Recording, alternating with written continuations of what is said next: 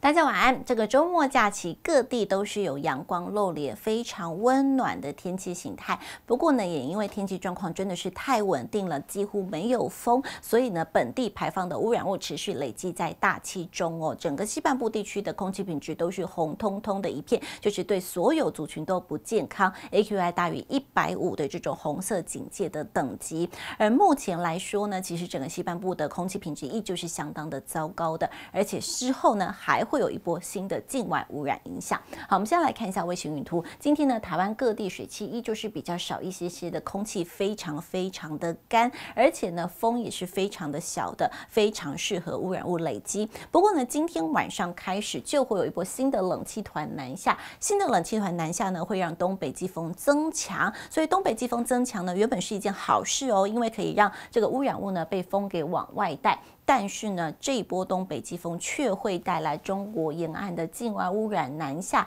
所以等于是南下的空气是又冷又脏，所以呢，不仅是没有帮助哦让这个污染物呢往外带，而且呢还会带来新的一波污染物，所以特别提醒您，这一波呢这个空气污染恐怕这个事件会一直持续到明天一整天，甚至是礼拜二的早上了。我们进一步来看一下了，这个颜色呢就代表越深的地方呢，就代表 PM 二点五浓。度越高，可以看到东北季风增强，会把中国沿岸的这些污染物给往台湾的方向带。所以除了本地的污染之外呢，还会再加上境外污染的影响，恐怕呢整个西半部地区的空气品质会一直维持比较不好，一直到明天一整天，甚至是礼拜二的上半天了。特别提醒敏感族群呢，外出真的要记得戴上口罩，而且也要尽量避免从事户外活动了。好，而且呢，这波冷空气现在看起来的水汽是不多的。可以看到，未来这几天呢，台湾附近几乎都没有什么水汽影响哦，所以等于是呢，几乎是全台各地都是多云到多云时期的天气，也不太会下雨。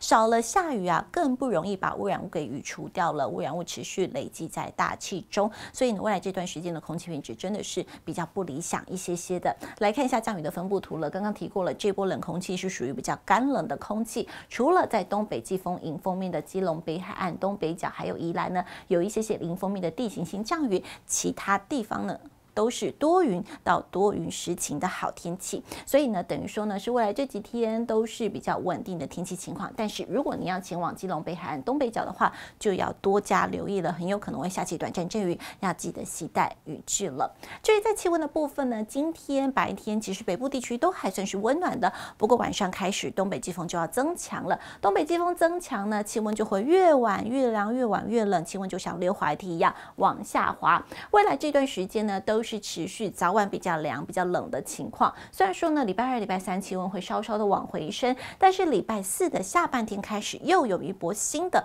冷空气以及封面云系要报道了。到了礼拜五呢，又要转成一个比较湿冷的天气形态。所以呢，等于是未来这个星期每两三天就有一波冷空气要南下，气温上面呢变动会比较大一些些，天气上面变动比较大，提醒你要多加留意天气的讯息。而另外呢，在中南部地区则是未来这个星期都是整个偏干的情况，多云到多云时晴，日夜温差蛮大的。可以看到南部地区低温大概十六度，高温呢大概可以来到二十四度、二十五度左右，日夜温差将近十度。而在空旷地区呢，更有十度以上的温差，大家要多加留意这样子的温差变化，蛮难穿衣服的。中午的时候呢，很温暖舒适，穿个薄长袖可以了。但是呢，清晨跟晚上受到辐射冷却的影响，确实冷飕飕，大家早晚外出也是要记得做好保暖的工作。最后给大家一点叮咛跟建议了，新的一波冷气团南下，在晚上开始呢，中部以北会起风转冷，境外污染呢跟脏冷空气持续的影响哦，所以特别提醒您，空气品质是是比较不好一些的，